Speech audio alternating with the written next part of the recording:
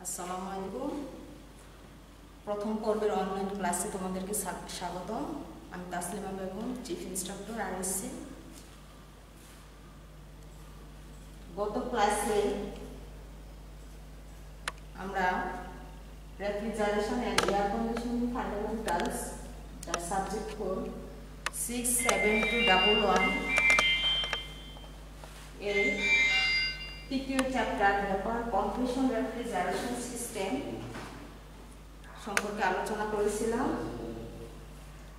আজকে আমি তোমাদের এই vapour compression refrigeration system PH ডায়াগ্রামে কীভাবে এই ভ্যাপার কম্প্রেশন রেফ্রিজারেশন সিস্টেমটা থাকে সেটা তোমাদেরকে দেখাবো এবং এই পিএইচ ডায়াগ্রাম নিয়ে আলোচনা করব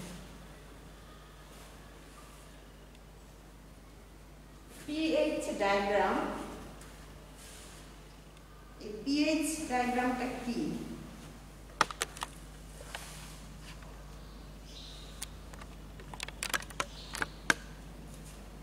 পিএইচ মানে প্রেসার পি মানে প্রেসার এইচ মানে এনথালপি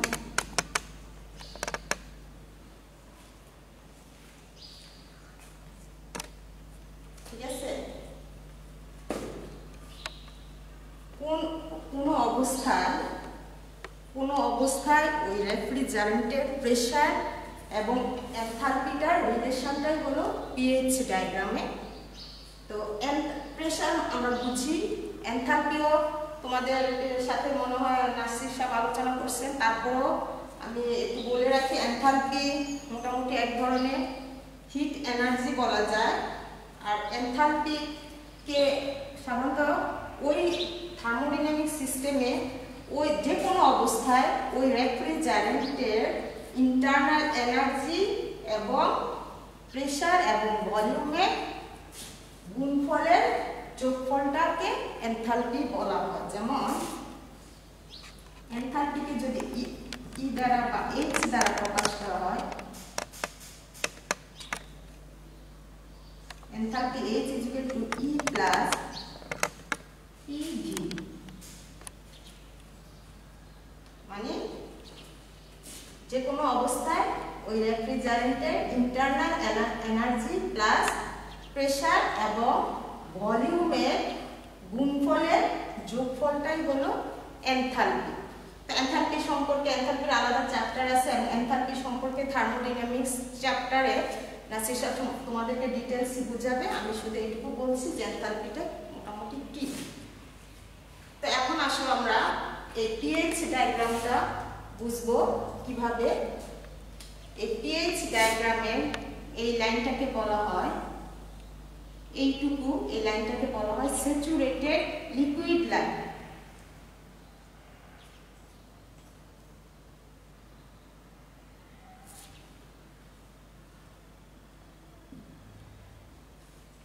এইখান থেকে এইটুকু পর্যন্ত এই লাইনটার নাম হলো স্যাচুরেটেড লিকুইড লাইন এইখান থেকে শুরু হয় স্যাচুরেটেড ভেপার লাইন তো এই লাইনটার নাম হলো স্যাচুরেটেড লিকুইড লাইন এই লাইনটার নাম হলো স্যাচুরেটেড ভেপার লাইন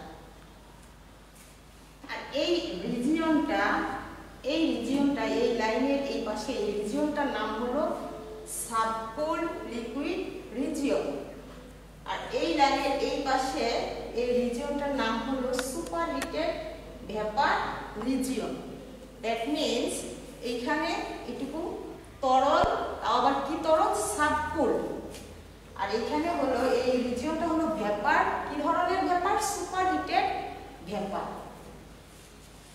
তো সাবকুল এই রিজিয়নটা হলো সাবকুল লিকুইড রিজিয়ন এই রিজিয়নটা হলো superheated vapour region that means এই লাইন এই লাইনে যতক্ষণ থাকবে এই লাইনটাকে বলা হয় hundred percent saturated liquid line.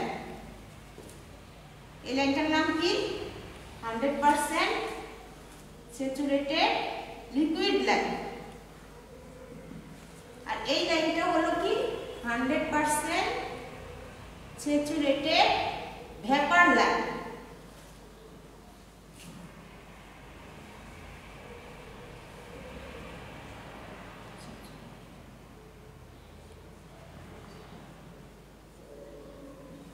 ঠিক আছে?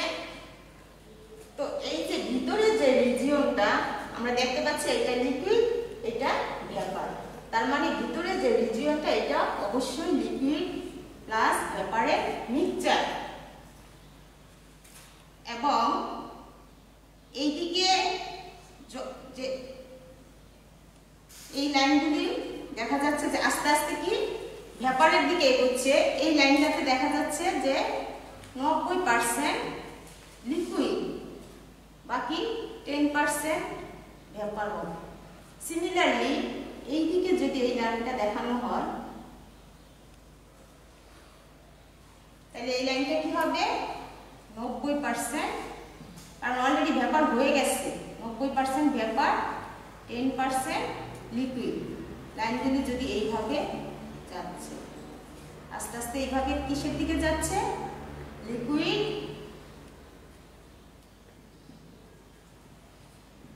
liquid to vapour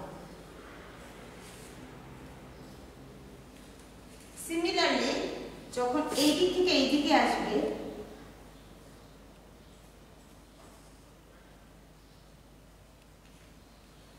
তখন কি হচ্ছে ছিল ভেপার এই লাইনে যখন চলে আসবে তখন কি হয়ে যায় লিকুইড হয়ে যায় তার মানে ভেপার টু লিকুইড এটুকু বুঝে গেছে আমি আবার একটু আলোচনা করি এই লাইনটা এই লাইনটার নাম হলো স্যাচুরেটেড লিকুইড লাইন এখানে হান্ড্রেড পার্সেন্টই লিকুইড এই জন্য এই লাইনটা হলো hundred percent saturated liquid line আর এই লাইনটার নাম হলো স্যাচুরেটেড ভেপার লাইন এখানে পুরোটাই ভেপার এই জন্য এই লাইনটাকে বলা হয় hundred percent saturated vapour line এই দুইটা লাইন যেখানে মিলিত হবে, সেই পয়েন্টটাকে বলা হয় ক্রিটিক্যাল পয়েন্ট বুঝা গেছে? আর এই অঞ্চলটা স্যাচুরেটেড লিকুইড লাইনের এই পাশে যে রিজিয়নটা এই রিজিয়নটার নাম হলো সাবকুল্ড রিজিয়ন আর স্যাচুরেটেড ভেপার লাইনের এই পাশে যে রিজিয়নটা সেটা হলো সুপার হিটেড রিজিয়ন এর মাঝে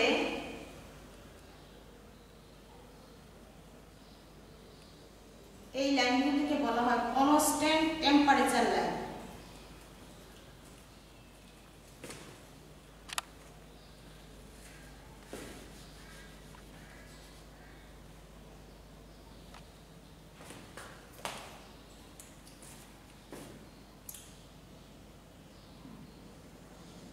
তাহলে কনস্ট্যান্ট টেম্পারেচার লাইন কেমন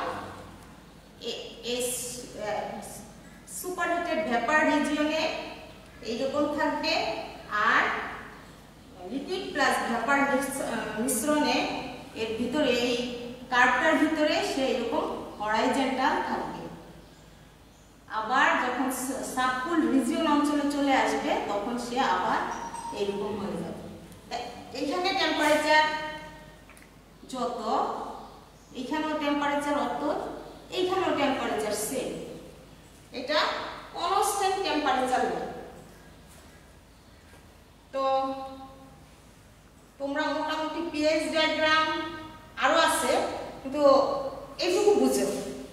এই অঞ্চলগুলি বুঝো, এই লাইনগুলি বুঝো constant temperature line liquid to vapour liquid to vapour আমি আবার বলতেছি, যেহেতু এটা হান্ড্রেড পার্সেন্ট লিকুইড আর এটা যেহেতু হান্ড্রেড পার্সেন্ট ভেপার, সেজন্য এদিকে যত আগাবে ভেপারের দিকে যাবে। আর তাহলে এটা হলো লিকুইড টু ভেপার আবার এই দিক থেকে যখন আগাবে, তখন ভেপার টু লিকুইড যখন কোনো রেফ্রিজারেন্টকে বলা হয় point one that means ten percent সে কি? অবশ্যই টেন পার্সেন্ট ভেপার এবং নাইনটি পার্সেন্ট কি? লিকুইড বাই মাস মানে ভর ওজন হিসেবে আবার যদি এটাকে বলা হয় পয়েন্ট নাইন তখন সে কি? নাইনটি পার্সেন্টই vapour ten percent liquid by mass মানে ওজন হিসেবে। তো মোটামুটি পিএইচ ডায়াগ্রাম সম্পর্কে ধারণা হয়েছে। এখন আসো, এই পিএইচ ডায়াগ্রামে কীভাবে আমরা যে গত ক্লাসে ভ্যাপার কম্প্রেশন রেফ্রিজারেশন সিস্টেম সম্পর্কে আলোচনা করেছিলাম, এই ভ্যাপার কম্প্রেশন রেফ্রিজারেশন সিস্টেমটা কীভাবে এই পিএইচ ডায়াগ্রামে থাকে দেখো। আমরা ভ্যাপার কম্প্রেশন রেফ্রিজারেশন সিস্টেমে মোটামুটি চারটা কম্পোনেন্টস চারটা প্রধান যে মেইন কম্পোনেন্ট সেই চারটা মেইন কম্পোনেন্ট সম্পর্কে জেনেছিলাম। এবং এদের কাজ সম্পর্ক জেনেছিলাম চারটা মেইন কম্পোনেন্টস কি কি? Evaporator compressor condenser expansion device তো ইভাপোরেটরে কি হয়?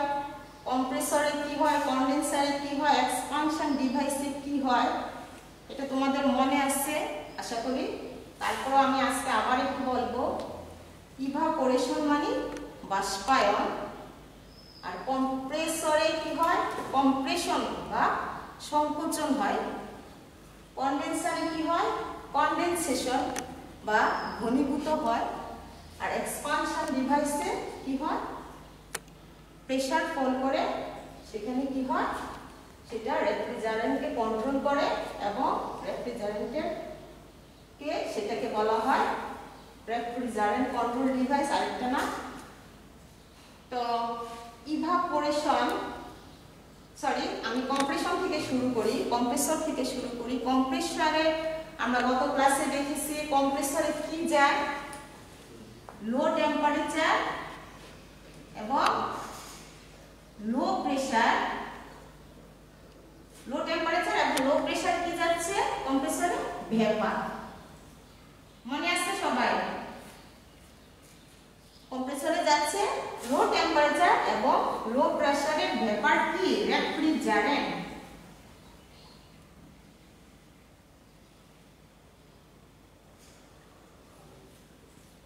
তো পিএইচ ডায়াগ্রামে আমরা জানি এটা হলো এটা হলো কি লাইন স্যাচুরেটেড লিকুইড লাইন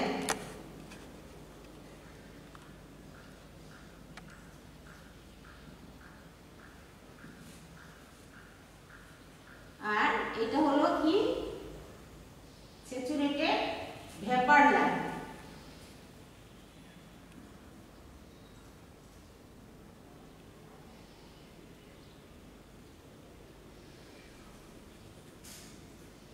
ঠিক আছে এই যে এখানে আমরা যে দেখেছি এই লাইনটা হলো স্যাচুরেটেড লিকুইড লাইন আর এই লাইনটা হলো saturated vapour line. 100% saturated vapour আর এটা হলো 100% স্যাচুরেটেড লিকুইড। তো কম্প্রেসরে আমাদের রেফ্রিজারেন্টের কি অবস্থা থাকে? কম্প্রেসরের ইন যেটা, কম্প্রেসরের ইন সাকশন যেটা বলে, তো কি হচ্ছে? সেখানে লো টেম্পারেচার এবং লো প্রেসারে ব্যাপারটা যাচ্ছে। এইটা হলো কম্প্রেসরের স্টার্ট পয়েন্ট বা এটা হলো কম্প্রেসর এখানে ইন হচ্ছে রেফ্রিজারেন্ট অবস্থায় ইন হচ্ছে? লো প্রেসার এবং লো টেম্পারেচারে কি? ভেপার তো ইনলেটে হচ্ছে লো টেম্পারেচার এবং লো প্রেসারে ভেপার এখানে আমরা দেখতেছি টেম্পারেচার লো ঠিক আছে?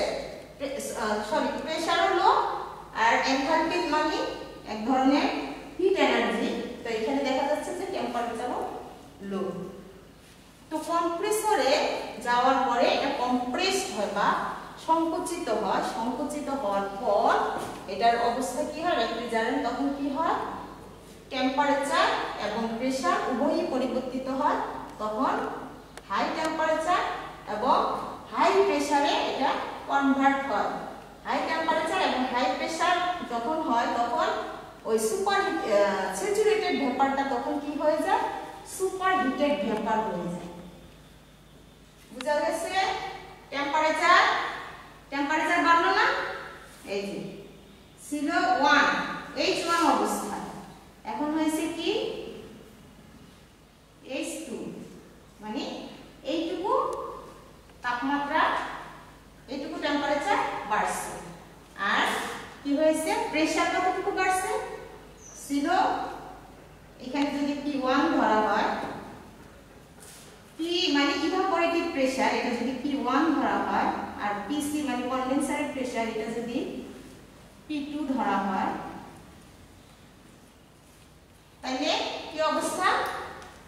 প্রেসার পি ওয়ান থেকে পি টু তে কি হলো? রাইজ করল। বেড়ে গেল হাই প্রেসার তাহলে আমরা দেখতেছি কম্প্রেসরে কি হলো কম্প্রেস হয়ে সংকুচিত হয়ে কি হলো? টেম্পারেচার এবং প্রেসার দুইটাই বাড়লো। বেড়ে কি হলো? সুপার হিটেড রিজিয়ন এই এই রিজিয়নটার নাম কি হলো? সুপার হিটেড ভেপার রিজিয়ন তো সুপার হিটেড ভেপার রিজিয়নে চলে আসলো। বুঝা গেছে সবাই? তো নেক্সট কম্প্রেসর থেকে আমরা পাচ্ছি হাই টেম্পারেচার এবং হাই প্রেসার কি ভেপার কি ভেপার সুপার হিটেড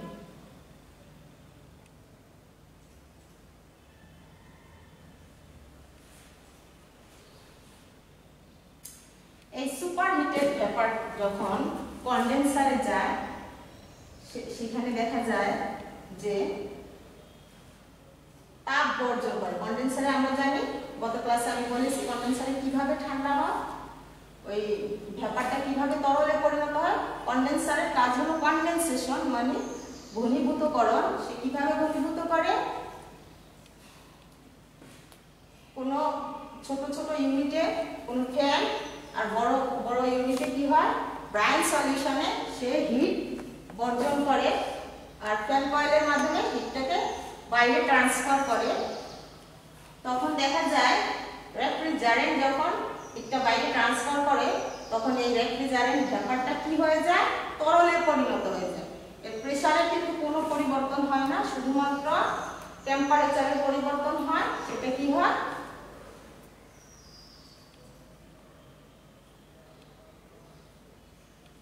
ছিল টেম্পারেচারের পরিবর্তন হয়। এই যে দেখো, আমি আগেই বলেছি, এটা হলো constant temperature line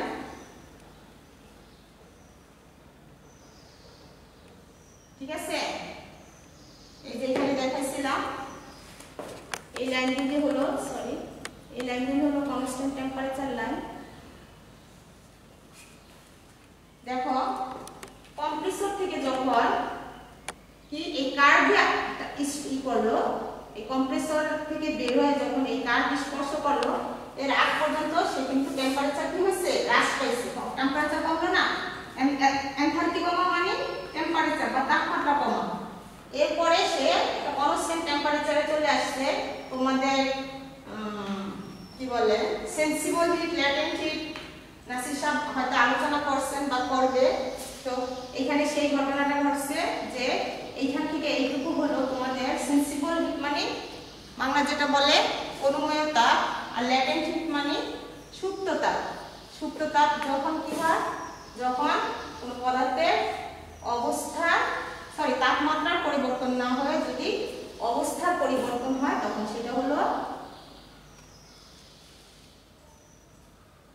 sensible hit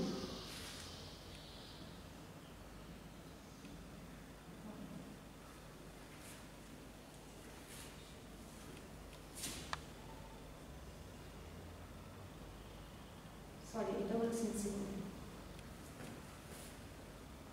অবস্থার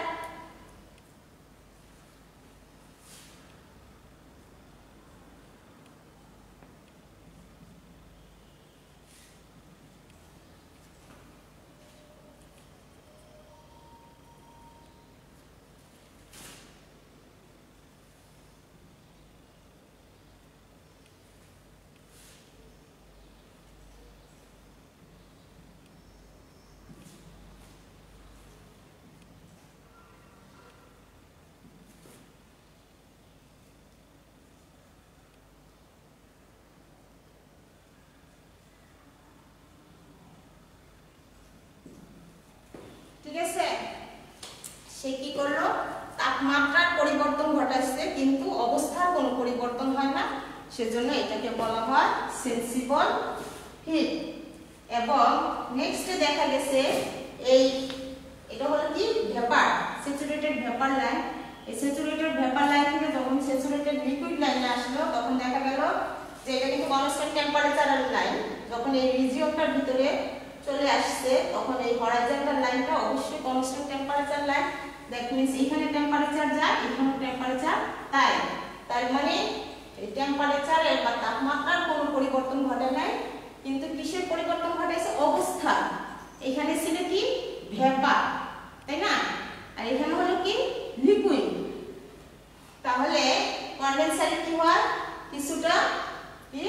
এই যে এখান থেকে এইটুকু সেটি করে সুপ্ত তাপ বর্জনের মাধ্যমে সেটি করল। এই অঞ্চল থেকে, এই এই এই অবস্থা থেকে, এই অবস্থায় মানে ভেপার থেকে কি? লিকুইড ফর্মে চলে আসে এখান থেকে এখানে যখন আসতেছে, সে আস্তে আস্তে কি হচ্ছে? লিকুইড থেকে ভেপার থেকে লিকুইড হয়ে গেল। বুঝা গেছে সবাই? এইটুকু হলো সেন্সিবল হিট অনুমেয়তা আর এইটুকু হলো ল্যাটেন্ট হিট তো এইটাকে বলা হয় ল্যাটেন্ট হিট অফ কনডেনসেশন বুঝা গেছে? তো নেক্সট এইখানে যখন আসলো, তখন এখানে পুরোপুরি কি হয়ে গেল? আবার কি 100% কিসে চলে আসলো? Saturated liquid line that means এখানে সে পুরোপুরি লিকুইড ঠিক আছে তো কন্ডেন্সার থেকে এখন তাহলে আমরা পাচ্ছি কি আমাদের তাপমাত্রা ফল করল প্রেসার কি একই ছিল তাই না কম্প্রেসর থেকে যা ছিল প্রেসার P2 তার মানে P2 মানে P2 সমান P3 আর তাপমাত্রা কিন্তু সমান না, তাপমাত্রা কিন্তু কমে গেছে।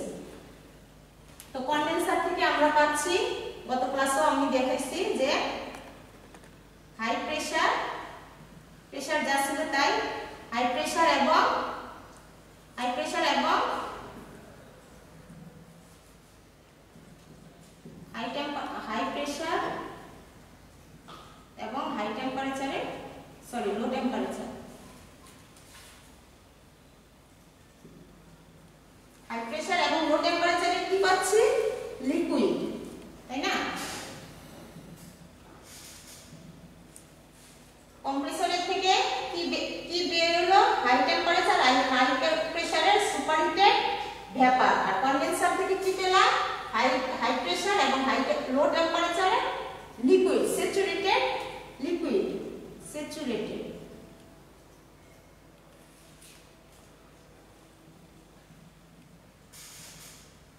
ঠিক আছে? নেক্সট যখন এক্সপানশন ডিভাইসে গেল, এই রেফ্রিজারেন্ট তখন দেখা গেল প্রেসার পুরোপুরি হোল করল। ঠিক আছে? কম্প্রেসরে যেই প্রেসারে গেল, যেই প্রেসারে কম্প্রেসরে ইন হয়েছে, সেই প্রেসারে এক্সপানশন ডিভাইস থেকে বের হলো। তাই না? এই যে সরাসরি প্রেসার ফল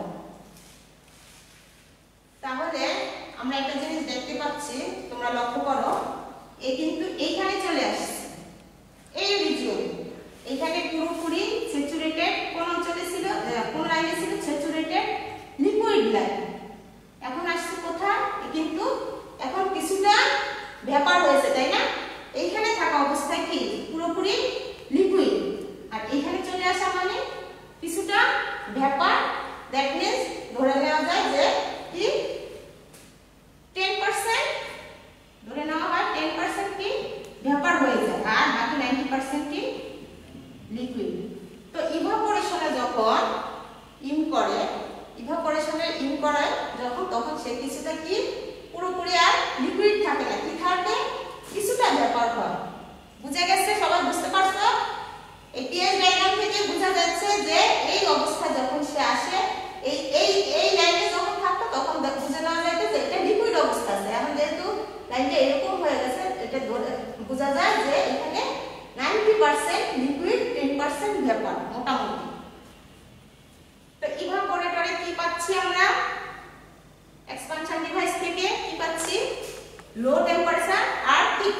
এতক্ষণ ছিল হাই প্রেসার কিন্তু ইভাপোরেটর সরি এক্সপানশন ডিভাইসে কি হয়েছে প্রেসার ফল করে লো প্রেসার হয়েছে লো প্রেসার এবং লো টেম্পারেচারে কি পাচ্ছি? কি যাচ্ছে ইভাপোরেটরে লিকুইড আর কিছুটা ভেপার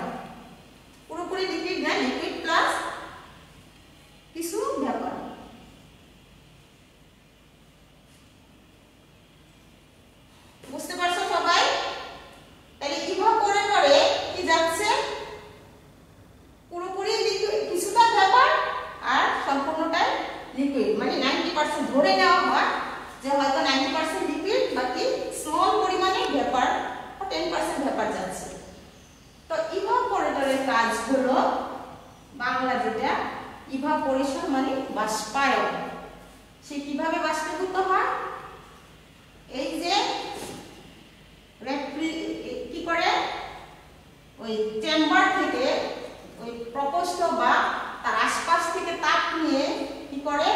এই রেফ্রিজারেন্ট কি হয়? ব্যাপারে পরিণত হয়।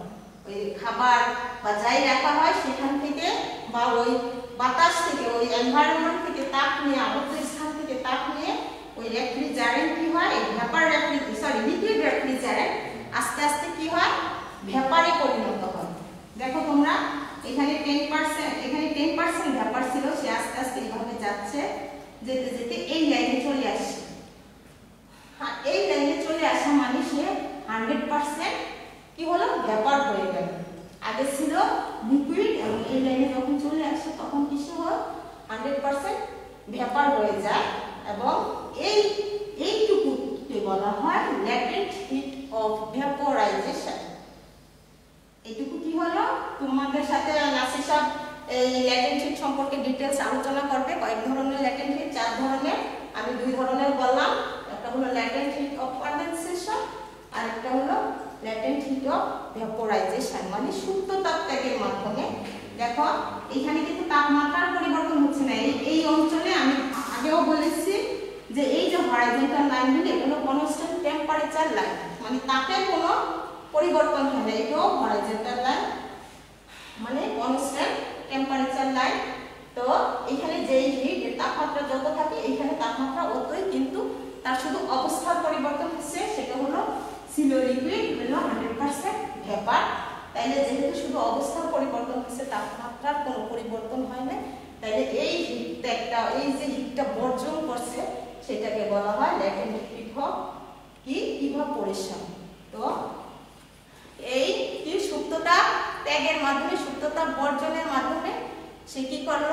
সরি সরি এটা গ্রহণ সুপ্ততা গ্রহণের মাধ্যমে সে কি করল? ভ্যাপারে পরিণত হলো এবং আবার কি হলো? সেই ভ্যাপারে পরিণত হওয়ার পরে আবার কি হলো? সেই কম্প্রেসরে চলে আসলো। আর কম্প্রেসর চলে আসে আবার সেই আগের সাইকেলে ঠিক আছে? মোটামুটি এইটুকু বুঝে গেছে? পিএস ডায়াগ্রামে পিএইচ ডায়াগ্রাম কি? এবং এই পিএইচ ডায়াগ্রামে কীভাবে ভ্যাপার কম্প্রেশন রেফ্রিজারেশন সিস্টেম কাজ করে vapour compression refrigeration system PH ডায়াগ্রামে কীভাবে কাজ করে সেটা তোমাদের দেখানো হলো। তোমাদের বুঝতে যদি কোনো সমস্যা হয়, তাহলে কমেন্টস বক্সে লিখে জানাবে। পরবর্তীতে আমি বোঝানোর চেষ্টা করব। আজকে এইটুকুই। তোমরা অবশ্যই এই পিএইচ ডায়াগ্রাম আমি আবার বলতেছি এই পিএইচ ডায়াগ্রাম এবং এই পিএইচ ডায়াগ্রামে ভ্যাপার কম্প্রেশন রেফ্রিজারেশন সিস্টেমটা অবশ্যই ভালোভাবে বুঝবে এবং বারবার এটা দেখার চেষ্টা করবে কীভাবে এটা হলো, বুঝবে? এরপর তোমাদের নেক্সট আমি ভ্যাপার অ্যাবজর্পশন রেফ্রিজারেশন সিস্টেম নিয়ে আলোচনা করব নেক্সট ক্লাসে ইনশাল্লাহ আজকে এইটুকুই। তোমরা যখন ঘর থেকে বের হবে। এই কোভিডকালীন সময়ে যখন বাইরে বের হবে, অবশ্যই মাস্ক পরিধান করবে এবং নিরাপদ দূরত্ব বজায় রাখবে। এই বলে আমি শেষ করছি আজকের লেকচার।